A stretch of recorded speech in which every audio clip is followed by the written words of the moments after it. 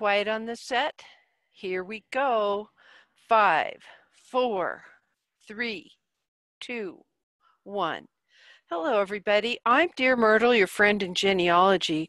Welcome to the Albion Seed Study Group, where we are working through David Hackett Fischer's book, Albion Seed Four British Folkways in America. I noticed when I reviewed last session's um, recording that I kept calling him Professor Hackett. I don't know why I did that, but he is definitely um, a professor at Brandeis University and has been serving in that position for over 50 years.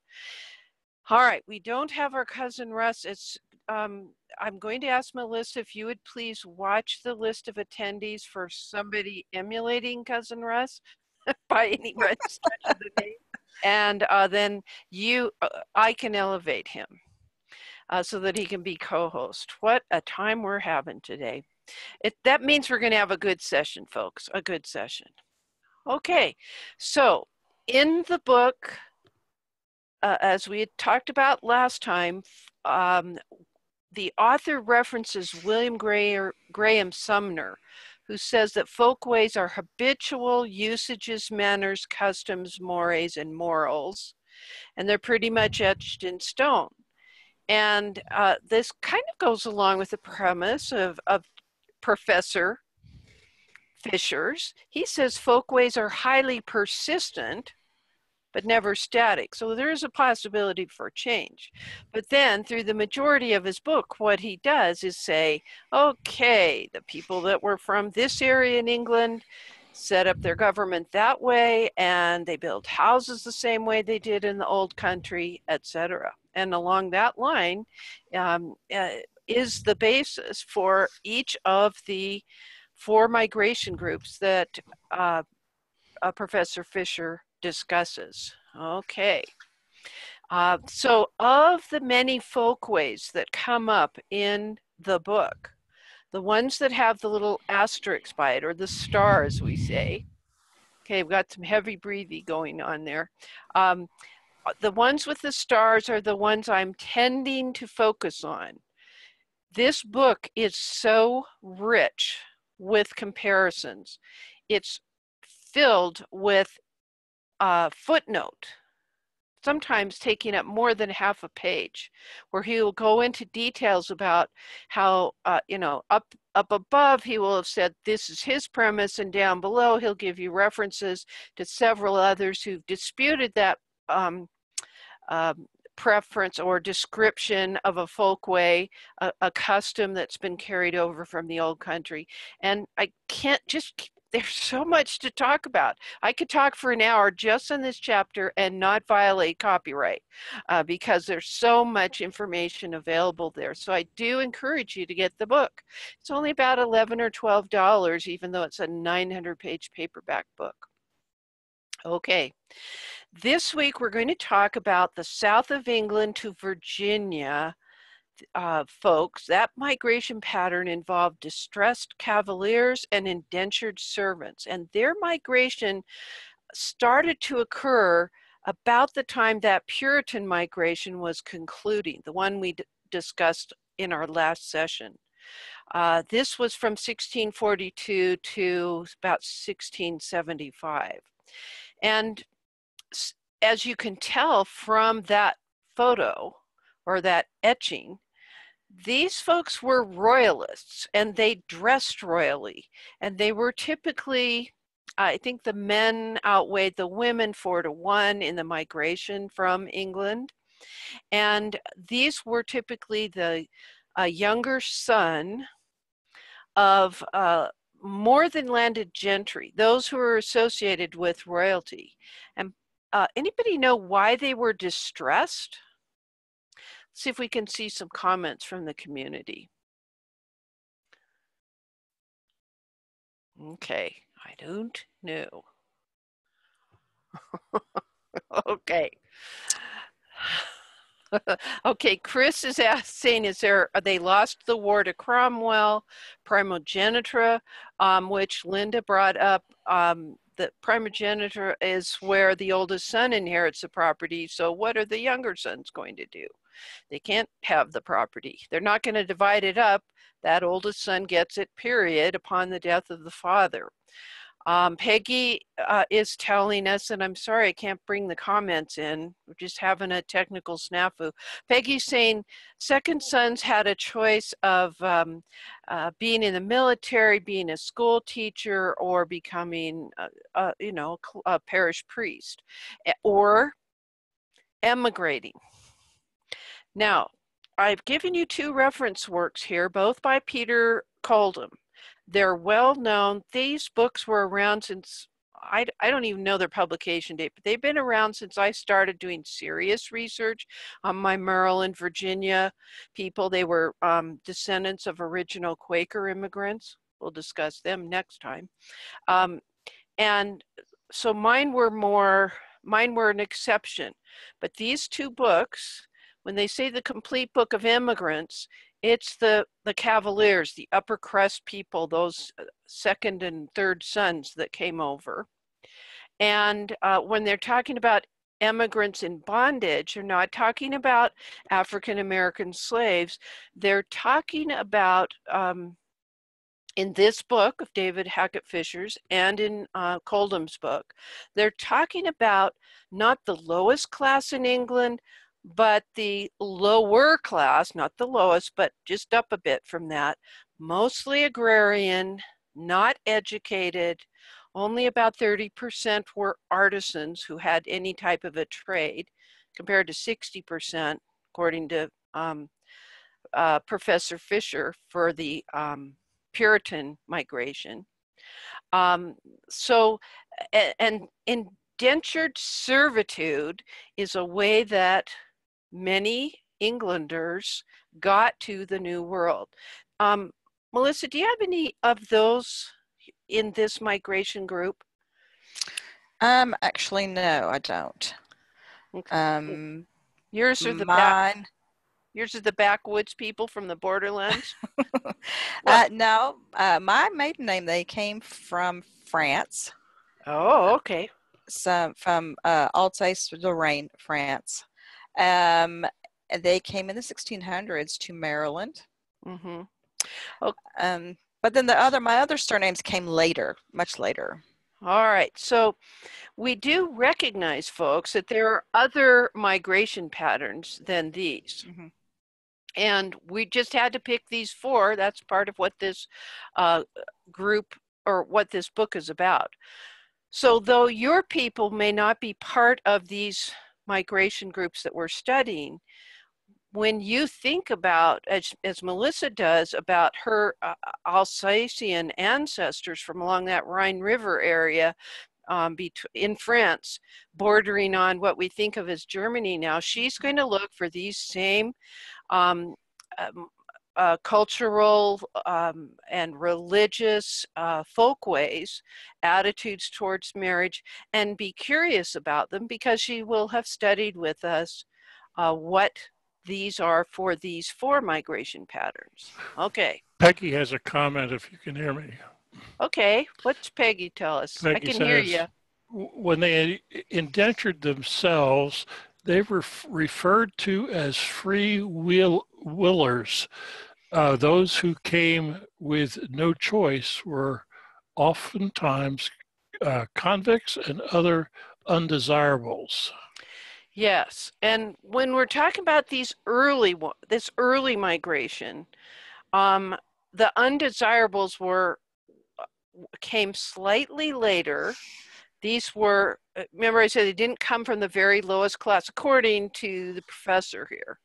Um, but uh, there is, but I'm glad you made that distinction, Peggy, because you're absolutely right. There's several ways that a person could decide to get from England to the Americas. Now, the Cavaliers were distressed because, oh, they'd lost the Cromwellian War. They had fought for uh, Charles the First. Um, Parliament actually disbanded their military units and um, they needed to get out of Dodge, to use a very Western phrase. The uh, they had wealth and they wanted to recreate the large homes, etc., from which they had come uh, in their father's households, but did not inherit because they weren't the first son. Now, where the heck are all my notes? So I'm going to have to do this off the top of my head. okay, folks, unlike most of Dear Myrtle's study groups, I got to kind of lecture a little bit, but I really appreciate your foot, uh, your input here. So to indenture oneself, as the servants would need to do, um, they would enter into an agreement that in exchange for their passage on the ship, room and board, that they would indenture themselves to the master. And that could that's one of the cavaliers. Uh, in, in, a couple of instances, there were businessmen who would rent an entire boat and um, uh, pay for the passage, and then he would sell that indentured servant to one of the cavaliers who needed more servants uh, on his plantation or in his household. Peggy um, has another comment. Good. Thanks, Russ. Uh, this was also around the time that the plantation of Ulster was going on, and the Virginia plantation would come right afterwards. And I have an, an ancestor, my sixth, seventh great grandfather, was an indentured servant. Mm-hmm. Now, and I I need to get to Annapolis, and I may have to talk to Mr. Turner because he's down there. But uh, mm-hmm. there's got to be a record that I know what the story says, uh, but I got to find. there's got to be a record down there, and I believe that uh, Carol Petronic told me there was one, but I need to get down there and see it to see what it really says. Yeah. So this these, chapter is awesome. Yeah, this chapter is right up your alley, as is the next one on Quakers, uh, cousin Russ. So these um, large parchment agreements or um, indentured agreements um, are loose papers at um, at the at the Maryland State Archives, uh, Annapolis Hall of Records, and they're not all available online. This is another one of those cases where you got to go there in person, like Cousin Russ is talking about. All right, so um, eh, the other thing to tell you is that a typical indentured time period would be uh, for like seven years, and you could, as an indentured servant, um, you were promised room and board and, and clothing. And uh, some of the Cavaliers were nicer than others, let's put it that way. Most were pretty strict. And if you were lazy or you ran away and were caught, something like that, and we're, again, we're not talking slaves, we're talking indentured servants, that, in, that indenture could be extended beyond the seven years. And if uh, I've, I've read of instances where uh, if you came over with your mom or your older brother and sister and you were in this lower class indentured servant category and let's say your mom passes away then that child might have to also serve out the indenture for the mother even though the mother dies halfway across and so only incurred half the expense uh, to whomever it was uh, that he had sworn out his indenture. Peggy has another piece of this discussion. Indenture comes from the word denture, which means to cut. The large piece of paper was cut uh, with a district edge, distinct edge, and the top half had to match the bottom half when the end of the indentureship came. So one went to the servant and one went to the master or the owner of the of the paperwork. All right, so um, yeah, all right, we need to change her to all panelists and attendees uh, so that, all right, so what have we got here? This is Stratford, uh, the Lees Mansion in Virginia, and it's quite grand. You've got a center area typically is, um, let's see, I think it was 45 by 48 feet. And then each of those wings are 25 feet gosh, some of us have houses that are like 25 feet, and that's it, you know, 25 by 30 maybe. These were huge mansions. They were actually nothing compared to the family estates back home uh, where these uh, men had grown up. Um, notice that four fireplaces share common, uh, uh well, they, they bound up the chimneys. So a total of eight fireplaces. Um, and I would dare say that a chimney on the that the chimney goes not only to that upper floor but to a fireplace on the lower floor since they didn't have central heat and air conditioning. Let's compare and contrast that with the migration pattern we talked about last time where we had the, um, the uh, house in Guilford, Connecticut, where it was made typically out of clapboard. Um, the front of the house would have been what we're seeing in the left side as the back of the house. Um, and the tradition, the traditional response for why do we have this great big long um, um, uh, line for the um, roof. So that would be roof line. Okay, I can do this. the roof line on that side of the house, and it harkened back to the days back in England where houses were all squished up together like townhouses, and the front of them, the roof came way down, so as if it were to look like a one story home with just a big roof when in fact in the backside, which the taxpayer or taxman could not see, had the second or uh, third story um, available. But being all squished together, that wasn't something you could see. So it was an attempt to evade taxes um, circumvent heavy taxes. So we got two completely different styles, and they correlate strongly with the type of buildings that these folks came from back in their areas uh, of origin, their ancestral homelands in England. All right. Now, a typical plantation and the and the layout of like if you were to look at a whole county's worth of things, are very different in Virginia than they were up in New England. The concept was it'd be really super cool if you had a thousand acres of land and you plopped your huge mansion in the middle of it so that nobody could see you. Those little stars are are woods. Sorry, that's the best I can do.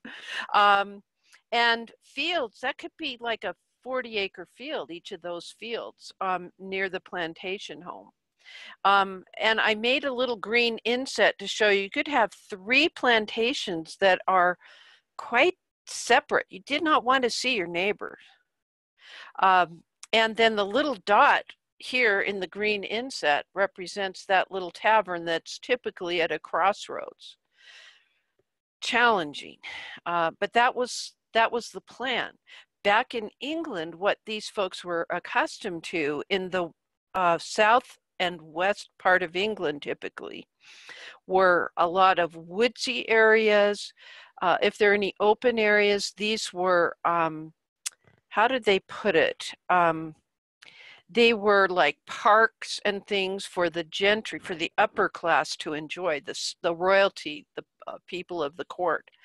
And so having set your home way back away from civilization and very far from your neighbor was the goal in Virginia. Very, very different from what we saw in New England. Now, in New England, remember we'd have the town square, and Dave Robeson reminded us that the town square, or very close to it, you'd have to have room to practice marching the militia would have to practice marching.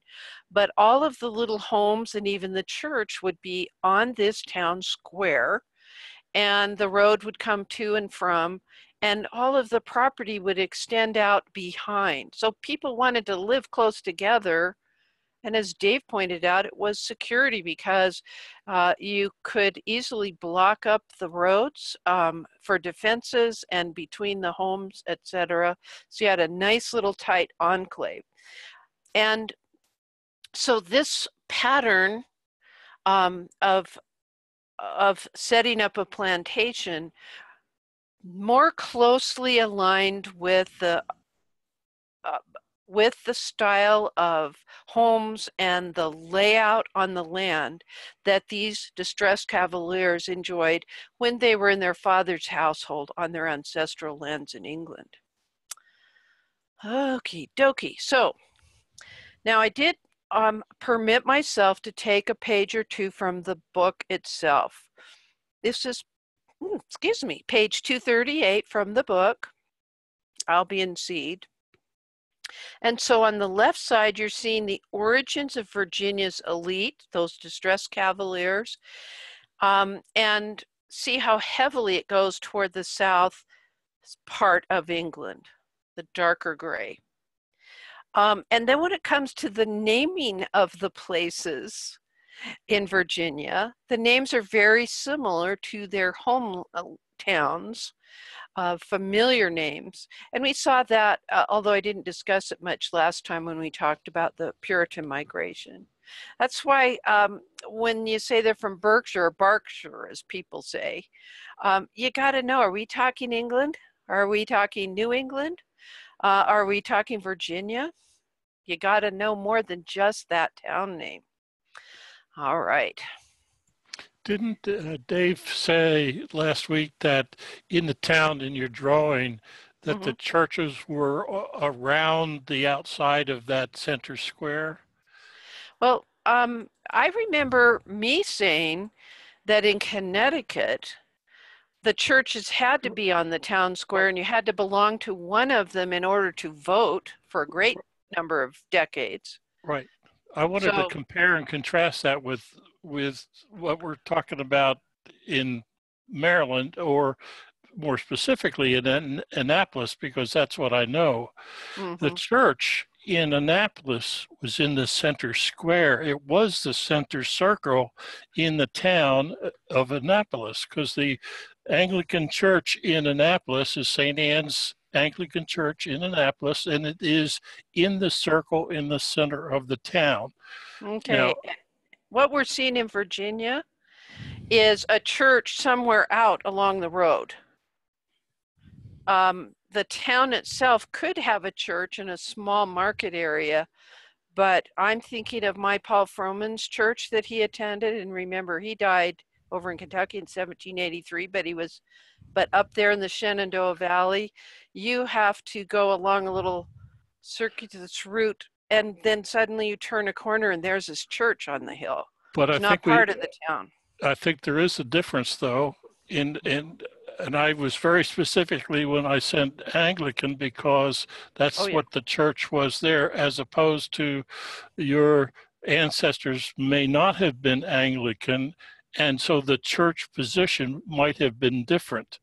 Yeah, the, um, the Anglican Church was, in fact, in this early migration, um, the church. In fact, the, the um, colonial government passed, I think it was 17 laws that basically ousted the Quakers and others um, who were not Anglican, and there were only two small communities of Quakers who survived uh, that oustering during this time period that we're discussing. It's it's a challenge because there are multiple migrations where folks from England are setting up their Anglican churches. So we're just going to talk about this earlier one at the moment. Okay. Um, okay. I don't know if Dave, Dave, or can you talk and bring in your own comment? Okay, I can turn on Dave's comment or bring him up. But he's already here. Oh, are you, Dave? You want to unmute yourself? He's unmuted. I'll read In his comment. there he is. Sorry. okay. Oh my God! You and you mentioned churches being on uh, outside of the village or whatever. They're generally on the town square. yeah. And I mentioned Karen's Congregationalist Church is the first church in Ludlow. Is the name of the church and was established in 1774. It's across the street from the geographic center of the village, of the original village. There's a post there, and directly right. across the street is the church. I was just in Brimfield, my uh, DNA class tonight in Brimfield, Mass, and the school that I was in uh, was on one side of the town square and the and the large congregationalist church is on the end of the town square so they and that's that's pretty common all the yeah. towns around here uh, at least in western mass and, and all over massachusetts uh, these ancient uh, puritan or congregationalist churches were either in or you know on the town square or adjacent to the town square and again it goes back to building that fence the palisade around the village um, mm-hmm. in that map you have on the left hand side. I don't want to take up too much time, but they, they could easily build a palisade around there for defense. Yeah, we um, mentioned, um, I think we mentioned that before you got here. So. Yeah, yeah, yeah, yeah. Um, exactly. That's what, that palisade concept um, was something I learned from you and did not read in this book by David Hackett Fischer. Okay, Russ, you want to bring in two comments? Yeah, Peggy says uh, Reverend John Craig was brought in to Augusta Stone Church in the Shenandoah Valley. His Shenandoah Valley. His records go back to 1740. They needed a minister. Okay, and uh, so Steph- that the group we're talking about is is a hundred years earlier, but even at the time period you're talking about, um, Peggy, they're still having trouble getting ministers. So they're still having to send back to England to get somebody over here to help. Interesting. Stephanie has a has a comment. One of my best friends from college currently own uh, Presqua Island in Culpeper County, Virginia. They are trying to rebuild and preserve the history, especially the history of the enslaved persons.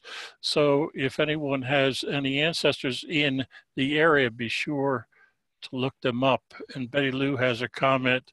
Also, the location of the church would be uh, one of the folkways. The Cavaliers would be used to travel to church and also would have the means to travel, whereas in other areas, the people were not as well to do and tend yes. to live and walk to church. That is that is a very smart comment there, Betty Lou. Thank you. Um, because these folks that were the distressed cavaliers, they're used to running around in carriages, horse drawn carriages, elegant carriages. And as opposed to people that just needed to walk across from their home to the ch- appropriate church in the town square. Okay, so Peggy shall we move after, on? Oh. Uh, Peggy, there's a couple more. Peggy says after Jamestown and the Tidewater areas were settled, it would be 125 years before they moved much further inward. I um, believe that's inland.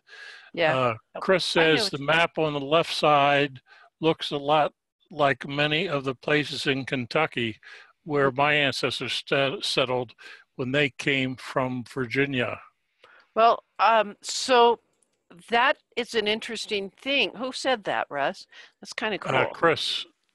All right, so Chris, um, as those, as this first, as the descendants of this first group uh, that came to Virginia, move farther inland or inward, as Peggy says, yes, you're not suddenly going to take up um, uh, the same architecture that's being used in New England.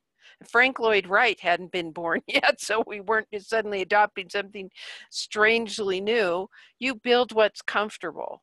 Now, um, we're not going into a lot of detail on the small shacks and things like that that the um, indentured servants who are now freed they're supposed to get um, a, a gun, a, a, set of clothing, and some land. Hardly ever got the land. So they'd kind of have to go farther west where land had not been yet developed or settled. And that's, that's a continuation. They're going to try to, um, you build what feels comfortable. You build a house like what you grew up in um, or what you wish you'd grown up in. Um, but I digress. All right. So a couple things, couple more slides here. Um, all righty. So we know a little bit about where these elite families came from. Look in the in the southern part. Yep, there were some up in the northern part of England, but the majority of them came from these more well-to-do areas. Um, In fact, it's interesting. Some of these men, remember I said they outweighed the women four to one, and they were the younger sons.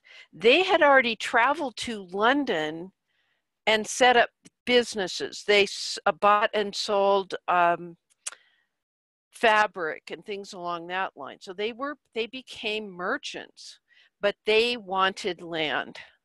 Hence this move to Virginia. All right. Um, some other things to tell you about these rascals. Okay, that's the origin of names.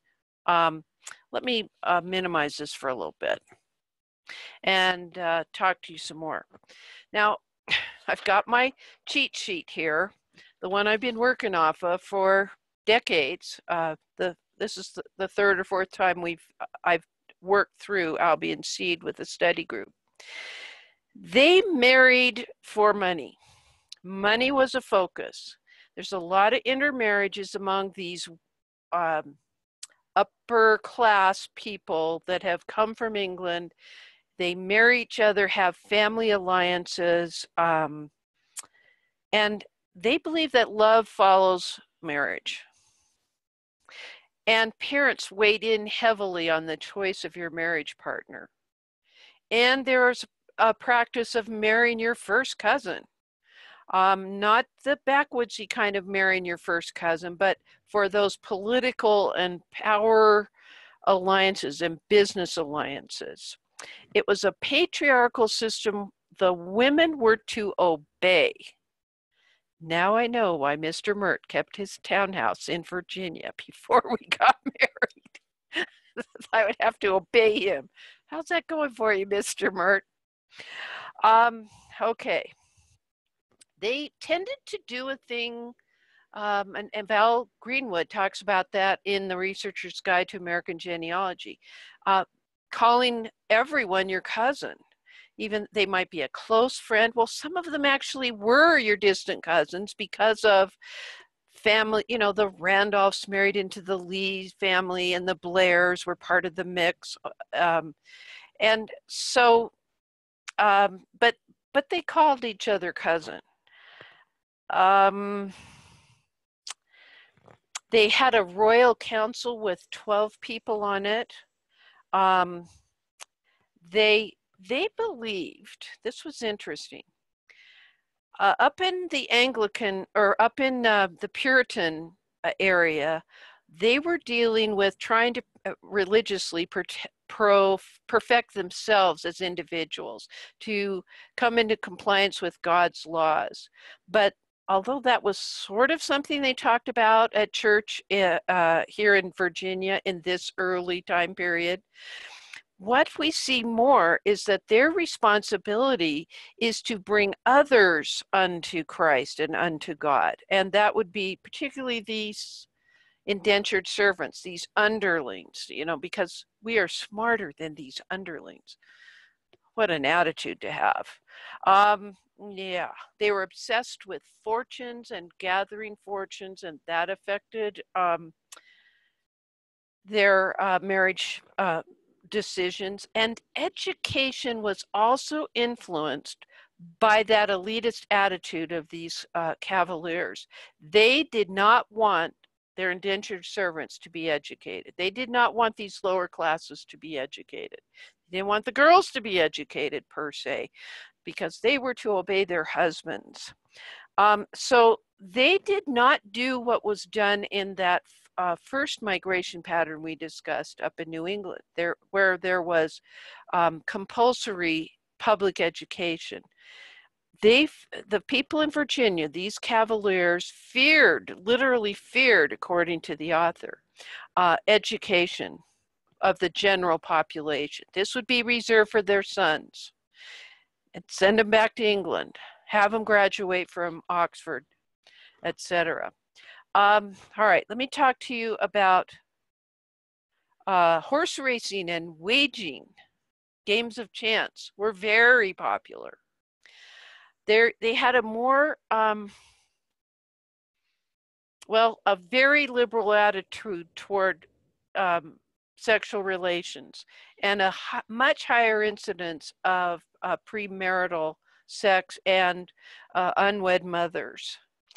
Uh, let's see. Um, recruited, oh, male dominated. Up in New England, we saw more the elderly, the one gentleman in the community that was revered because of his age and status.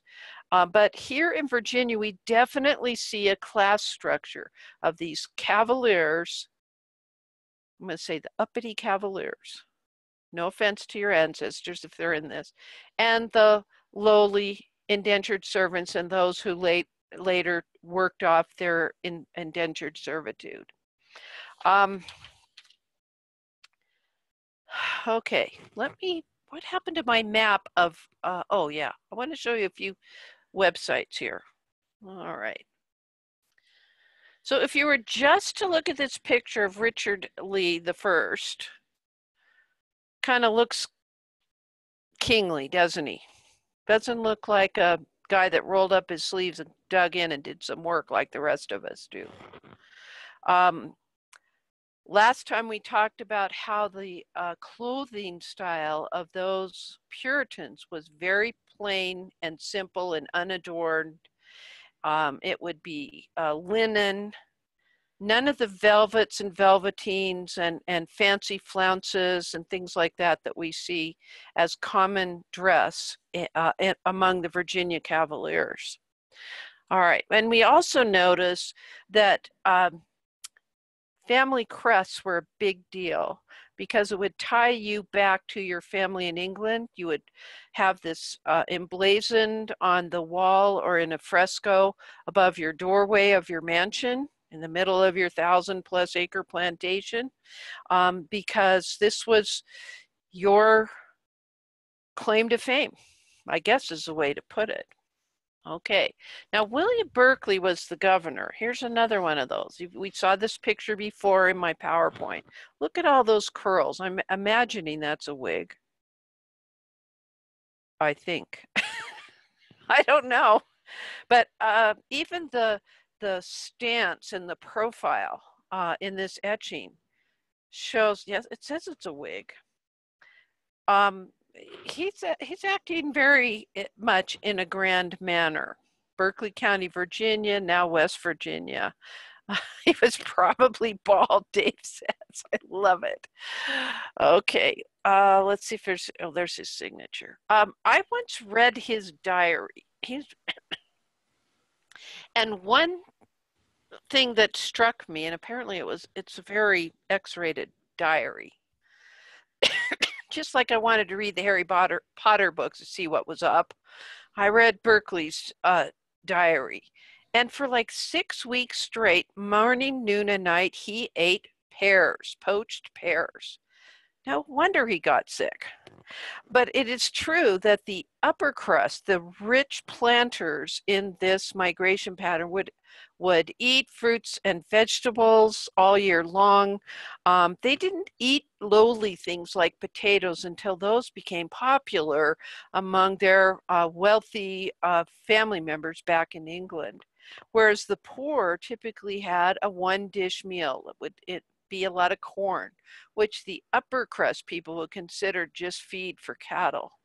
Um, uh, poor people, these indentured folks would um, eat greens and salted meat, hominy, which is a, a you um, make hominy out of corn kernels that you've soaked in lye. Of course, you wash that all off, of course. My dad liked hominy with a little butter on it.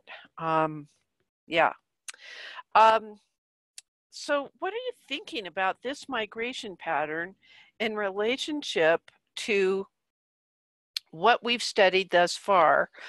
Uh, do you have folks that are in this category? Now, we know Melissa doesn't. okay. yes, for us. Yeah, I, I do because Captain John is part of that and other members of his family. There's a house not too far from where uh, he lived uh, that was the uh, home of Francis Scott Key. And on his door in the house and I believe it's still today, mm-hmm. is one of those family crests. Mm-hmm. Uh, th- that family crest for uh, Captain John's family is all over the place.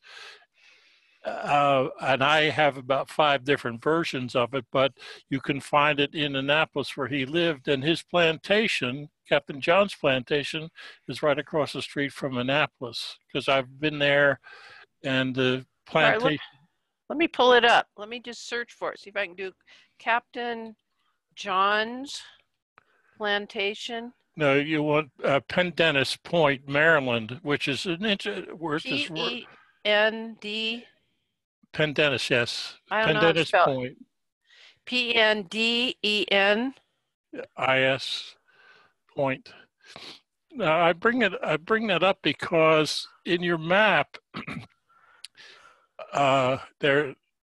Uh, this is in Cornwall. Well, that's exactly why I wanted you to do this. okay. Because there is a Pendennis point in the over, lower left hand corner of your map of England. Mm-hmm. So, my question is why is Pendennis Point across the river, the Severn River from Annapolis, which is what Captain John's plantation was on, and Pendennis Point is there today? All right, let me do plus Annapolis. Um, all right. Uh, visit Cornwall. Here it is. Oh, it's a drive. Go ahead. Go ahead. That's that's an advertisement for a house, but that that will take you to where I'm talking about on the map. Point. Mm-hmm. It's right on a. You, it's right across that river, right there. Penn and there's Dennis, Annapolis. Penn, mm-hmm. Yep, that's Pendennis Point, right, right about where your mouse is. Mm-hmm. And uh, there's a there's a, a military uh, war memorial right there, but it's if you stand at the war memorial, you're looking at Pendennis Point, but that's right there is Captain John's plantation.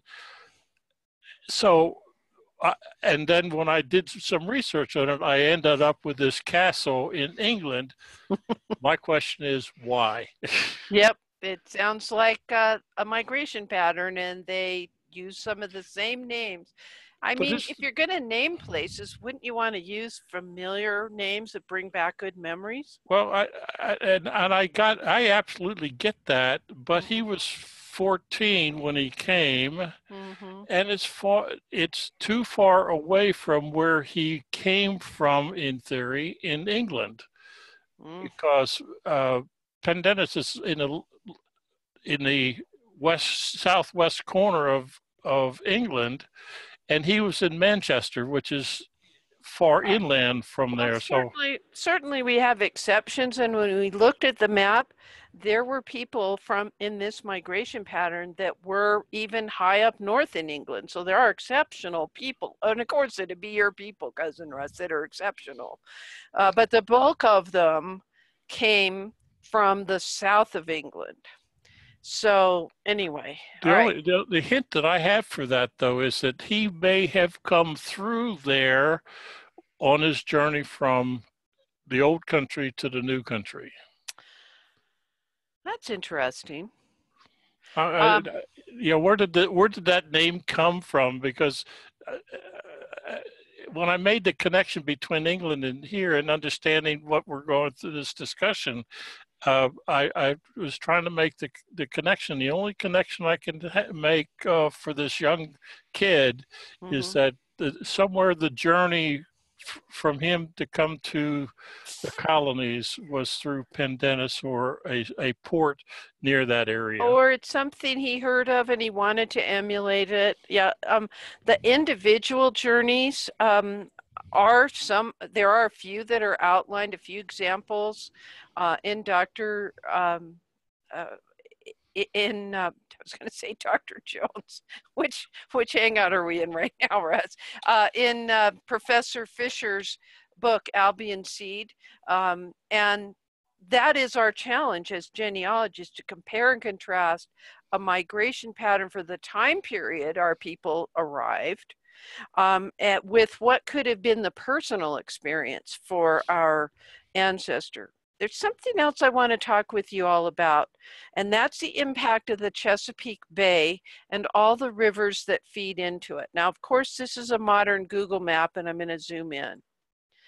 And you mentioned the Severn River, there's Potomac River, uh, Chesapeake Bay, the Rappahannock River, etc. Um, it was especially, there's the York. Um, it was especially advantageous for a plantation owner to uh, have a way to get his goods to market. And if he's living on, um, you know, a thousand acres, up 20,000 acres, it could be, part of his land needs to be on one of these navigable rivers so that he can have a dock and boats can come up or he can send a boat downriver to where the bigger ships the bigger merchant ships, which he might, uh, you know, fill up one third of it, um, and his goods combined with others would go back to England. And remember, these were gentlemen who had who had left their father's home in England, become merchants in London, so they knew the merchant trade. Uh, they um, raised goods here and sent them back to England. And on the return trip, the ship would bring china, crystal, silver, things that these upper crust Virginians, and they called them first families of Virginia, but they weren't the first arrivals in Virginia. We certainly know about Jamestown and, and others. But the, this particular migration pattern that we're looking at, who they were hungry for some good Staffordshire china and silver and, and, things along that line to that that be, were the accoutrements that would bring their large plantation homes more into the style to which they would like to become accustomed and had been accustomed to in their father's uh, estates back in England. So it was a constant back and forth. So the, the fact that it's on Chesapeake Bay also gives us something. Um, it's a very humid area. Any of us who've lived in Maryland or Virginia, Baltimore, um, you know, Norfolk, it's humid. Ellen says, I grew up in Patuxent in a Quaker village, and I believe she's talking about near Laurel, Maryland. If you would uh, move up, a, I want to zoom out just a little bit because at the south end of that river, look across the river from from it. Okay, which we wanted the Patuxent's up here by um, Baltimore, isn't it? Yeah, okay. yeah. I was, but yes, it is. But I was, I wanted, I believe the the what I'm getting at is the relationship between the Patuxent River or uh, Patapsco. Might not the be there Chesapeake yet. Bay and Jamestown. That's what I wanted to get to, which would be downstream. Okay, so downstream, so the, the upper part of the Chesapeake reaches way up here by Elkton, which is yep. Maryland. Okay, then I'll zoom out. There's Baltimore. And here's Annapolis that we were talking about. Uh, we used to cut across there on our way to uh, Ocean City in the summer when I was a kid. Um, okay, there's the Potomac River coming out of Washington. Yep. Scrolling around. I forget what the is this the, what's this river? Can't remember. There's your Patuxent River. Yep. All right. Uh, okay. I'll zoom out again. All of these riverways are very, there's the Rappahannock, the York, and you want Jamestown.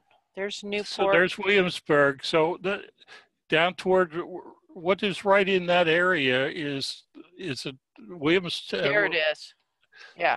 So, uh, I'm just uh, what I recognized is the Howards, for an example, yes. were down in Jamestown and made it up the river to Annapolis. And uh, somebody said uh, uh, Joanne said uh, Sir Richard Ridgway did not have uh, the E in his name, he is my eighth great grandfather, and I have Ridgways in my family. Okay, and Miss Peggy, I have Howards of Howard County, Maryland.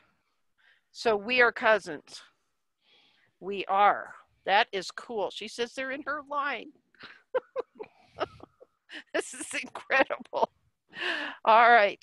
So so the rivers played a big part. In fact, when you go to the northern neck of Virginia and you go to any of the um, county historical societies, they want to know which river did your ancestor live on. Right. That's how big a deal it is. It isn't, it's like when you go to look up military records. Okay, what unit was your guy in?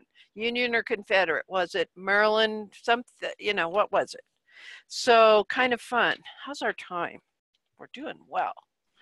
All right. Yes, Betty Lou, the Ridgway, that's a different uh, Ridgway line is in Little Egg Harbor. That's another line, but there's still some down in uh, uh, down in Maryland. All right. So, um, Melissa, tell me about your St. Mary's in Charles County, Maryland people. That's Eastern Shore, isn't it? It is. Okay. I think it's Western Shore, Charles and St. Mary's. It's down bottom Maryland. Okay, so um, let me first of all go all the way out. Here's Washington. So, oh, this part is the Western mm-hmm. Shore, and St. Mary's is somewhere in here. And what's the town?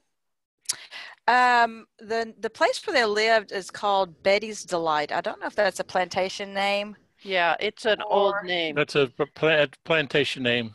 Mm-hmm. And so they came from France. Uh, his name was Abraham, and today we pronounce it Lee Master. But back then mm-hmm. it was spelled differently in a, in, in a French accent. I would say Le Master, or something like that, because it was spelled totally different. Le Mastre. Yes. Yeah. And so uh, yes, and he came. He was. Uh, he came here. They came here in the 1660s, I believe. So slightly. So like while this was happening, because this yes. one, the migration pattern we're discussing, and it's very distinct from later Cavaliers arriving. This one concluded around 1670. I mean, right. So they, were, they were Huguenots. They were Huguenots. Yeah, too. the Huguenots. Yeah, yeah Huguenots. Huguenots. Yep, there are different ways so, to pronounce that. Yes. And there are also those Huguenots who were up in uh, Kingston area up in New York. That's a different migration pattern um, it's so fun to figure all this stuff out and from whence did they come and who are the original immigrants et cetera particularly in a colonial time period folks where we don't know um, you know the records may not be as strong as a very organized government um, for the very earliest settlers like think of the roanoke people nothing left. All right, a couple uh, bits of housekeeping before we go. I just want to remind you, Cousin Russ, tell us why we have Dear Myrtle's genealogy community over on Google+. Plus. That's where the conversation will continue, and I will put a link to that in the chat right now, if I can get my mouse where it needs to be. Yeah. Uh, that's so, the, while you're watching and listening to us and see the, the chat going on and the chat log will be posted when it is uploaded and put on Dear Myrtle's uh, blog. But the conversation will continue to Dear Myrtle community. All you need to do is request to join and we check your profile, your Google Plus uh, profile and let you join. And if you have notifications turned on, you will be notified when somebody makes a comment or adds a new post. And the, but the conversation continues. We don't want it to stop. All right, Cousin Russ has given you the link to our syllabus material. It's Albion Seed, Four British Folkways in America. Um, you're perfectly fine I'll with post it again. Oh, thank you so much. I think you've done an awesome job considering you like having to do this with one hand tied behind your back and you can't see you. Um, anyway, um, I I've opted for the paperback, that's all I've ever had. And um, yeah, you it's perfectly fine. I can't imagine listening to this on CD. It's just too detailed. You've got to put sticky notes in uh, and make marginal notations. All right. Um, you'll want to check out the GeneaWebinars calendar. Um, and to see what's coming up next. Now, I always cross post things to both um, the GeneaWebinars calendar and Dear Myrtle's calendar. Let me show you what I'm going to do. Uh, Dear Myrtle, I'm sorry I didn't have this up. This is my newer blog since last summer. I wanted to move over to um, the WordPress platform. This is what I did for the study group this morning, for America Gen study group. Um, I embed or I give you um, the graphic that concerns that study group, the link to the syllabus material as, as Russ is giving it to you for this study group, where to register for the future sessions, and um, in the this morning we had homework. Tonight you didn't. Um, and then I embed the actual event I have to upload it to um, YouTube. Uh, then I um, include selected comments and I activate the links we talk about. And wherever possible, uh, I insert a graphic. Like this morning, we were talking about the NGSQ study groups and also about the one in Second Life. And I, I was overachieving this morning, Russ. Uh, I included the video that we did earlier this month on how to set up a Second Life avatar so that you can get to Just Genealogy's Fire Pit and attend the NGSQ study group as you wish. Talked about Evernote. I try to make it look interesting.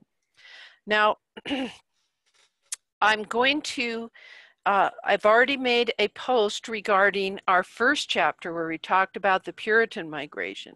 So what you're going to see, I have to update that one plus the new one with the cumulative list of the study group sessions that are part of this. So eventually it'll be one whole um, listing. Um, and that's what that's where the best place to go see everything in context. But for commenting, you'll want to go to that particular event uh, listed over on Google Plus.